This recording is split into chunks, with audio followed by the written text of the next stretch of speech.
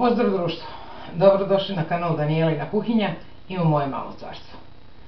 Društvo, sećate se onih davnih vremena kad smo bili mali, pa izađemo napolje pa se igramo, igramo, igramo do besvesti i zaboravimo da uđemo u kuću, pa onda u neko doba čujemo bake, tetke, ujne, strine, ajde u kuću, klopa, užina.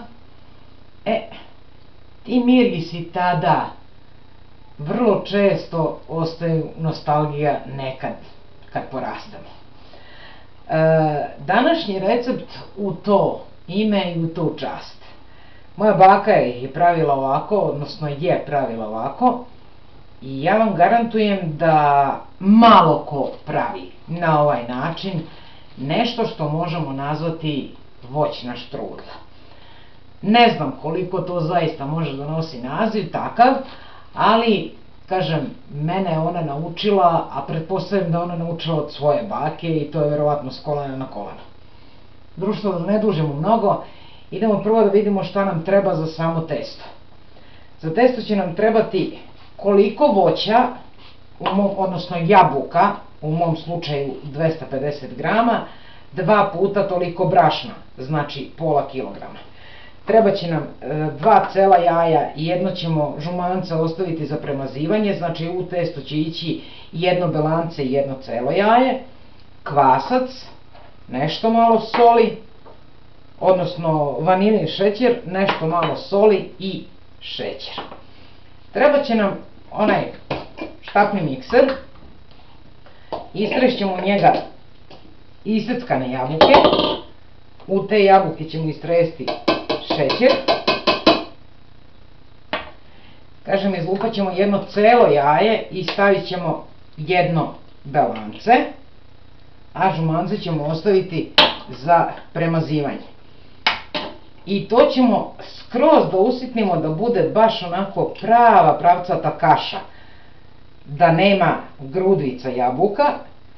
I ono što moja baka znala s vremena na vreme da uradi je da procedi kroz dževđir ili kroz rešetku da procedi ovu svesu koju dobije, pa ostane samo sok, pulpu nije koristila.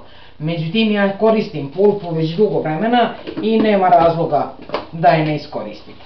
Dakle, ovo ćemo sad pošteno da umesimo, odnosno da izjedinimo i nastavljamo dalje. Kad smo napravili kašu od ovih naših jabuka,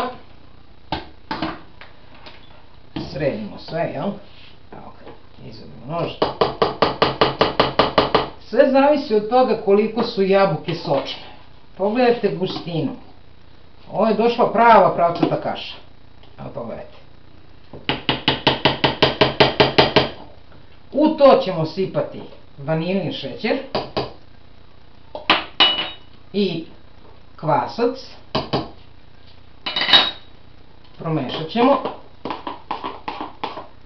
Pustit ćemo samo na trenutak da stane, nema potrebe da stoji ne znam koliko. I preći ćemo na mešanje testa. Za testo nam treba brašno, so, ova smesa, nešto malo vode i naravno posni, ne posni, i naravno margarin koji je stajao na sobnoj temperaturi. Kao što rekao društvo, Testo ćemo umesiti tako što ćemo dodati brašno. U brašno ćemo dodati nešto malo soli, čisto da nam testo ne bude bljutavo. To ćemo evo ovako da promešamo. U to ćemo dodati onu smesu od jabuka koju smo napravili. Dakle, u smesi već jaja i kvasac vanilin šećer i šećer.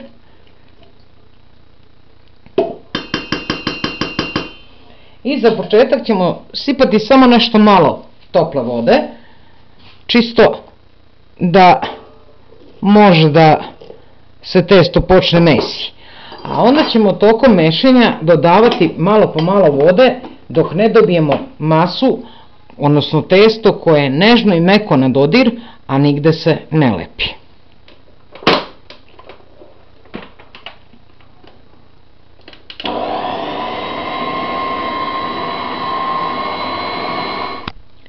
Negde na pola mešanja, kad je testo ni tamo ni ovamo, dodat ćemo i onaj pomenuti margarin, sve ćemo još jednom dobro da sjedinemo i ostavit ćemo testo da dobro odmori i da se udupla.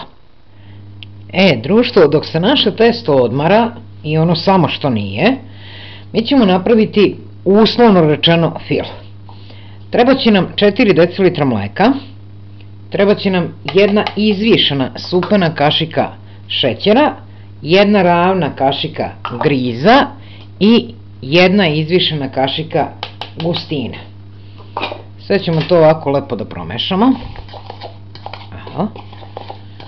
Viljuškom ovako da se kad sad sipamo mleko ne bi zgrudvalo. Znate, ovo je kao klasičan puding kad se kuva, pa pomešate prvo prah šećer, odnosno šećer i prah pudinga, pa onda sipate u mleko da se to ne bi zgrudvalo sve. Dakle, ovo je obično kuvanje fila, odnosno nešto kao puding, s tim što ne koristimo, može puding od vanile, neki voćni puding, ne preporučujemo čokolade, ali ako kuvate voćni puding, onda vam drugi deo priče i ne treba. Evo. Evo ga. U opisu videa će naravno stajati mere koje sam upotrebila i to ćemo sad naprosto da skuvamo kao najobičniji puding. E, društvo, evo ga. Testo kao testo, nisam tela da vas maltretiram, ja sam pustila da testo naraste izvinjavam se svima, upotrebila sam pogrešan izraz, rekla sam u dupla umesto u dvostruči. Isto je to, ali eto, da se ispravim. Dakle, nisam tela da vas maltretiram, ja sam ga već premesila jednom, pustila drugi put da naraste i podelila ovako na dve loptice. Ovde imamo taj naš nazovi fil. Evo pogledajte kako izgleda, to je ono što sam vam rekla. Gustina klasičnog pudinga s tim što nećemo pustiti da se ohladi skroz, nego ćemo ga koristiti tako toplog. I naravno neki pleh za pečanje. Još jedan dodatak je domaći pekmez. Ovde imam baš džem, ne pekmez, nego baš džem od e, kajsija i upotrebit ću njega ovog puta. Naravno da možete upotrebiti bilo koji koji imate, samo da je nešto za nijansu ređi nego inače pekmezi što su. Kaže, uh, džemovi su jako redki, pekmezi su ni tamo ni ovo, mermelade su izuzetno guste. Eto, to je nekako bijagi. Mene tako učili da je to razlika. Društvo, nema ovde sad već velike nauke. Testo kao testo ćemo razvući onoliko koliko ono samo dozvoljava.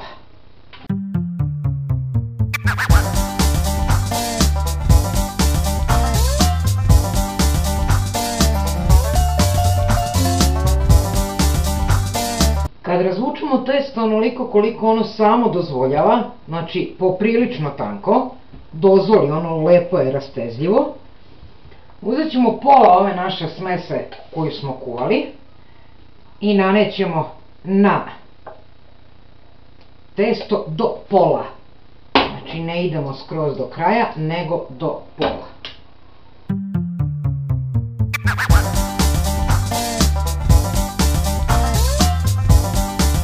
Kad smo naneli tu našu smesu, vidite i sami da ja nisam išla do krajeva, uzet ćemo ovaj naš pekmez koji imamo, evo zašto nam treba redak, da bi mogli bukvalno da prospemo po ovom našem, nazovite to filu, a da sam fil ne razvučemo. Evo ga. Eto, vidite kako to ide lako.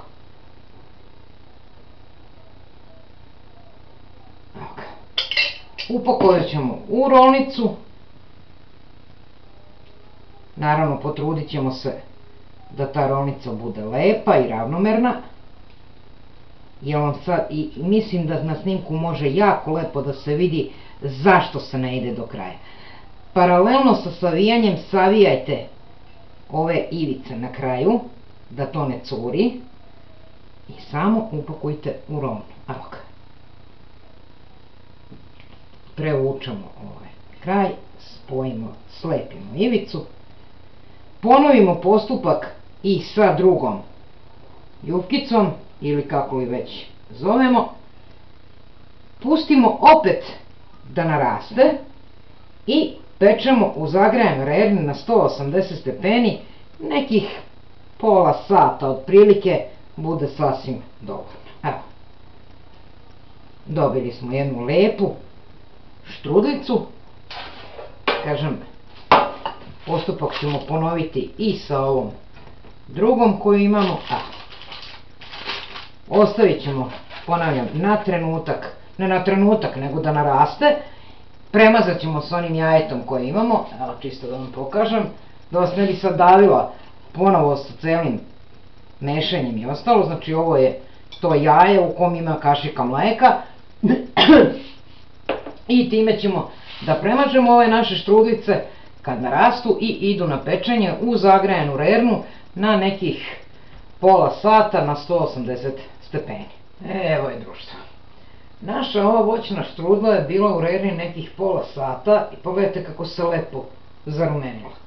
Izadila sam iz rerne naravno da bi ona mogla da stane još, ali pošto to kod mene u kući ne uspeva, ja ću samo ovako da napravim režnjeve i čisto da vam pokažem kako izgleda. Znači, ne možete da verujete koliko miriši jabuka. Nemojte mi verujete.